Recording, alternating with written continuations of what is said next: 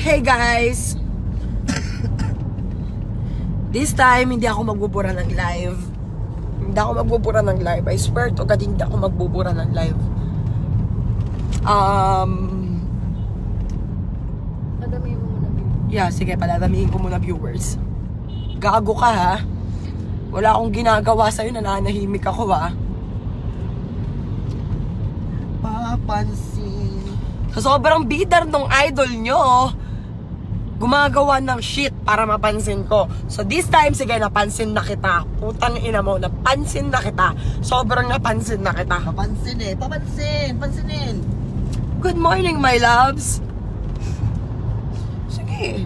Tangina mo nga, brutalan pala. Gusto mo, pahiyaan gusto mo ah. It's your boy, Tulu boy. Paramihin natin viewers, sige. Sayang naman, idol nyo pa man din yun. Bibe? Hindi ako magbubura ng live. Mag-live ako kahit 5 minutes lang.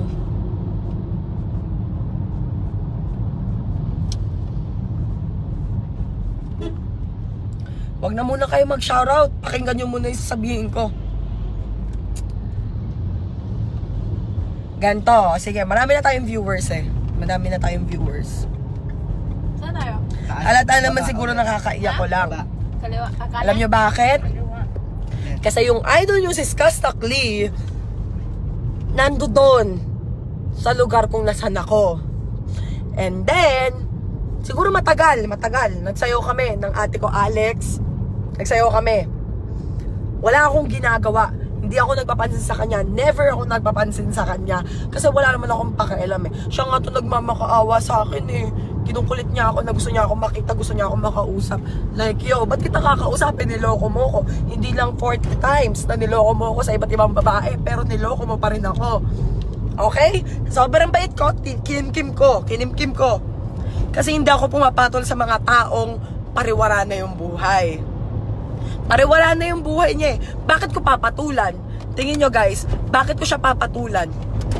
Ba? Wala namang reason para patulan ko. Pinalaki ako ng magulang ko na marunong rumespeto sa kapwa-tao ko. Pero itong gagon to, nasa urban siya. Wala akong ginawa. Papansin siya na papansin. Wala akong ginawa. As in, wala akong ginawa. Kasi hindi ko na siya dapat pansinin. I'm good. Naka-move on na ako eh. As in. Parang, ano ba bang shit mo? Bakit kailangan mo ko gantuhin? Ito na. Nasa labas ako, nag ako with his friend names Najela. Friend nung ex-girlfriend niya na fina-follow ko sa IG, na finalo ko rin. Finalo ba ko? Tapos natuwa sa akin kasi nga, alam nung tao na totoong tao ako. Finalo ba ko? Nakita ko na minention niya ako sa story niya.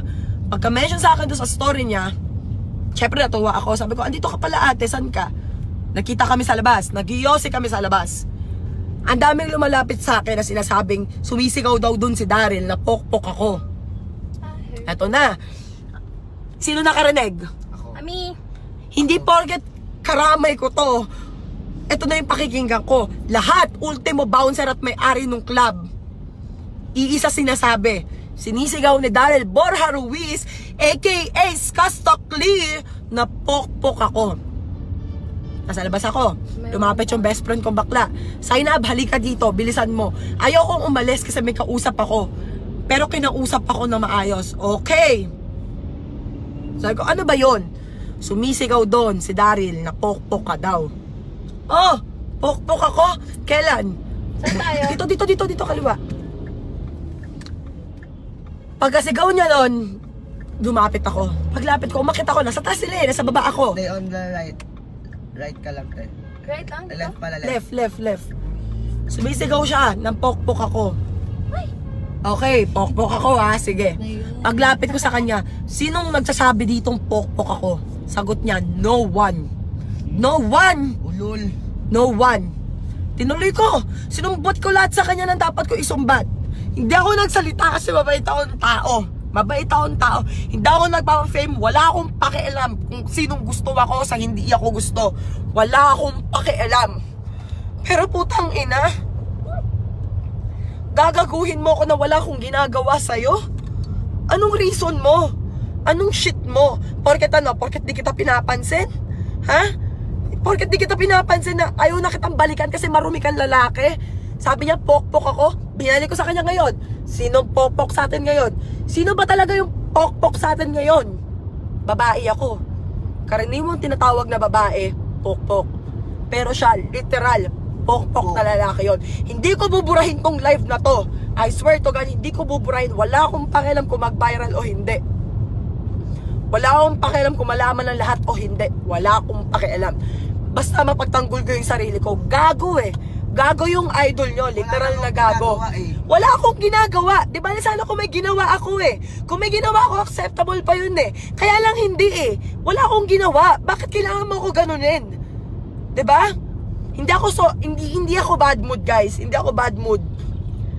Hoy, Sobrang- kanina. All good! I'm good! I'm good! Literal lang, I'm good. nag enjoy ako. Nag-aayos ako sa sarili ko kahit na nandoon siya. Siya yung papansin na papansin. Wala akong ginagawa. Hindi mo nga siya pinapansin eh. Yun nga eh. Yun nga yung masama eh. Di ko siya pinapansin. Bakit kailangan mo ingay para mapansin. Ano pa ba? Sa sobrang paymore ng idol nyo, naghiwalay kami nung ex-boyfriend ko dahil sa kanya. Dahil sa in-upload niyang video na alam niyang may boyfriend na ako, pero hindi niya nilalabas yung mga puta niyang babae. I swear to God, ilalabas ko lahat ng hawak kong ngayon, lahat ng hawak kong ngayon, ultimo lahat ng conversation nila, ilalabas ko para malaman nyo kung sino talaga yung nagsasabi na totoo sa hindi.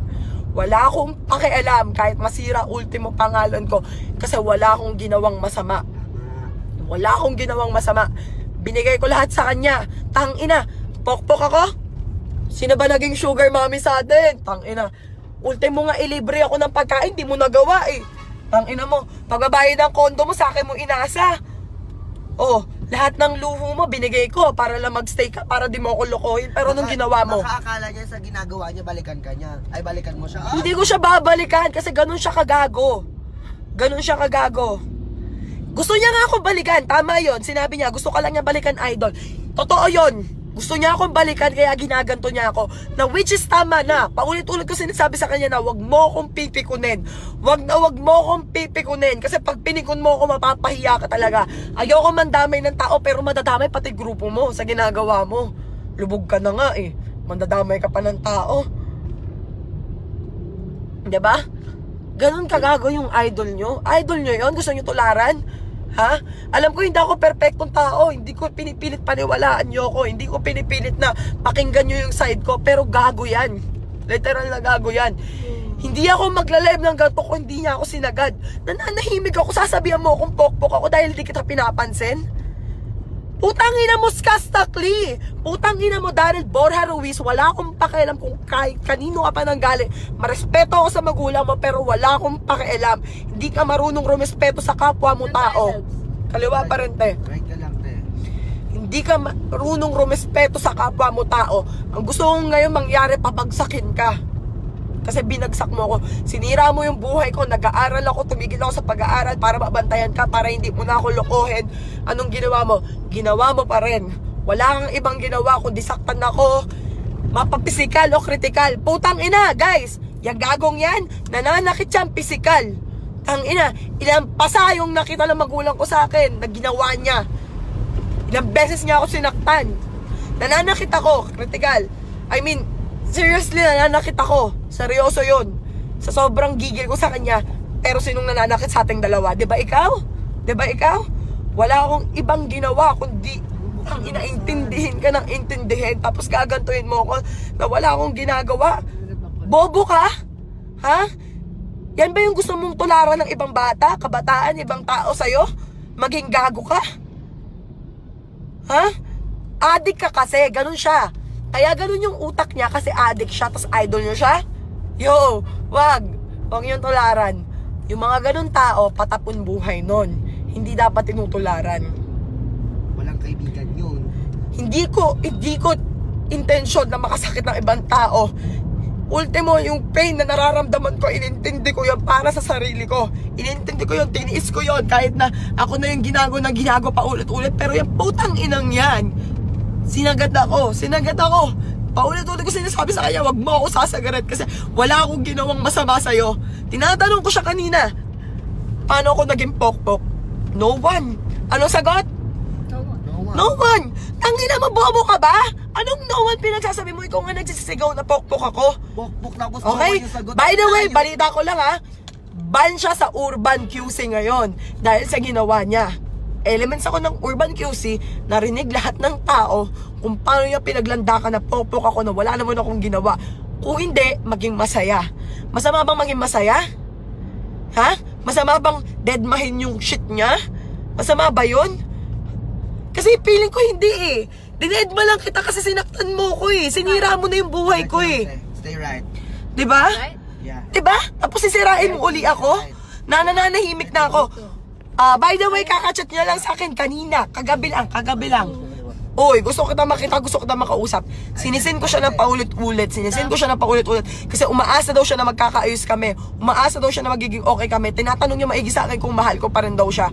Paano mo mamahalin yung ganong klase ng tao? Paano mo mamahalin yung ganong klase ng tao? Kung ganon siya kagago. ba? Wala akong pakialam. Nag-live ako ngayon, hindi video ginawa ko kasi alam ko mas maraming nanonood. Lahat ng taong nakarinig na pinahiya niya ako kanina, hindi totoo yon. Hindi ko kailangan maniwala kayo sa akin, hindi ko kailangan pilitin yung sarili ko na paniwalaan niyo ako. Kundi, makinig kayo kung ano talaga yung tama. Kasi, hindi porget ganun yung image niya, paniniwalaan niyo na siya. Hindi ganun yun. Ano yung image niya? Image niyang ano, adik? Adik. Adik? Kung may pinagsisisihan ako sa buhay ko ngayon, yun yung pinatulan ko siya. Yun yung minahal ko siya, yun yung ginawa ko lahat para sa kanya, yun lang. Wala ko ibang pagsisisihan sa buhay ko ngayon. Nawala sa akin lahat. Pamilya ko, tiwala ng pamilya ko, pag-aaral ko, pangalan ko na yung pangalan ko, yung image ko dati, ang ina, sign na tumutulong lang yan dati, kaya nakilala yan. Walang ibang ginawa yan kundi magbigay sa tao. Na hanggang ngayon ginagawa ko pero nawala yon Natabunan. Naging pokpok ako, naging bitch ako, na naging pasikat ako. Hindi totoo yon Hindi totoo yon Nalalaman naman nila yan eh. Kung makikilala nyo kung ano yung totoong ako, putang ina. Baka, lahat sila, putang ina, gustong gusto nila saktan si Daryl kanina. Skastakli, putang ina mo, putang ina mo. Ang ina mo. Alam ko nakainom ako ngayon, inatake ako ng asthma, lahat, nawalan ako ng malay. Dahil sa kanya yon dahil sa kanya yon Putang ina niya. Ay, tang ina niya. Walang kwentang tao na hindi naman dapat tinutularan pero nagpapa-cool kid. Siyempre, skastakli ako eh. tao, basura ugali. Alam ng lahat yan. Alam ng lahat kung gaano siya kagago. Ikaw, bago ka manghusga ng ibang tao, isipin mo muna kung malinis ka. Isipin mo muna kung lalaki ka pa man din. Malinis ka ba? Ha? Wala akong pakialam. Malinis ka ba? Tingin ko kasi hindi eh. ba? Kasi kung talagang malinis ka, uunahin mo yan sa kalooban mo eh. Kaya lang hindi eh. Hindi mo ginawa. Wala kang ibang ginawa kundi man judge ng tao. Wala kang ibang ginawa kundi man daw ng ibang tao. Wala kang ginawa kundi man gago ng tao. Wala kang ginawa kundi man loko ng babae. At wala kang ginawa kundi hindi rumispeto sa kapwa mo. Ganon ka kayabang. Ganon ka kataas. Sinasabi ko sa'yo, wag mo akong pipikunin pero ginawa mo lang paulit-ulit. 'Di ba? 'Di ba? Ginive up ko lahat para sa kanya, guys. Ginive up ko lahat para sa kanya. Pero ako ba, nanahimik, nagsalita ba ako, di ba hindi? Nanahimik ako, nanahimik ako. Tiniis ko lahat, tiniis ko lahat. Sa lahat ng brutalan, yan ang putang inang pinaka-brutal. Literal na brutal. Aakit tayo dyan sa right. Ito ate.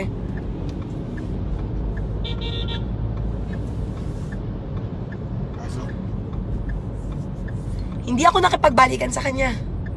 Actually, ilang beses ko siyang tinanggap nung una kasi mahal na mahal ko siya eh. ba? Pero tiniis ko.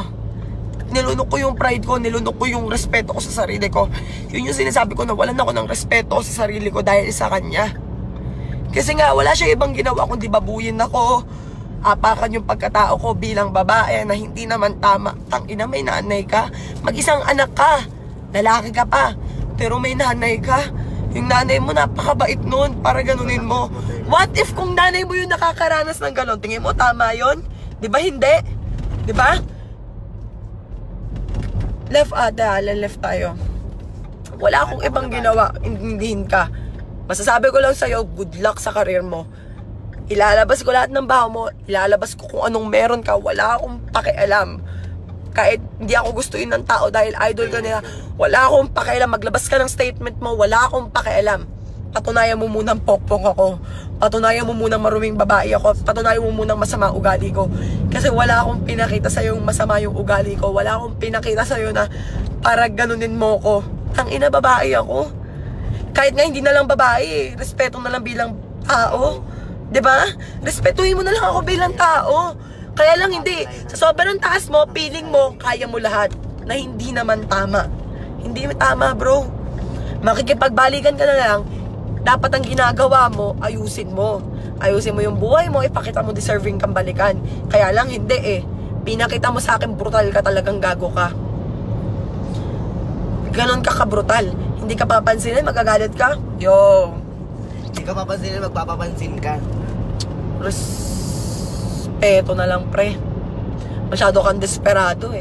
Hindi lang sa akin, pati sa ibang babae. Ma-fuck mo lang, pipilitin mo. 'Di ba? 'Di ba? Ganun ka. Kahit sobrang dugyot ang babae, pagpapalit mo yung taong mahal ka. Pagpapalit mo yung taong minahal ka ng sobra, pagpapalit mo yung taong inaalagaan at may pakialam sa'yo. Para lang sa sarili mo. Sa sobrang fuckboy mo, kailangan mo na magpa-check up. Kailangan mo uminom ng gamot, pre. Yun lang masasabi ko. I have to go kasi wala na akong oras sa'yo. Ilalabas ko lahat ng baho mo. That's it! Bye. Love! Bye, bitch! Fuck you!